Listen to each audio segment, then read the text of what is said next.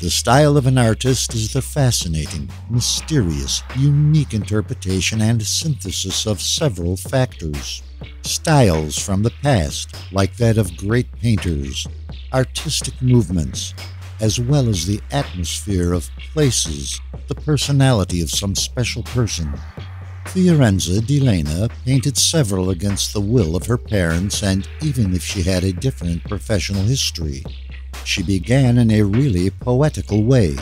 When she was 12 years old, she lived in Este, a small yet of great cultural tradition city in the north of Italy. In this beautiful place,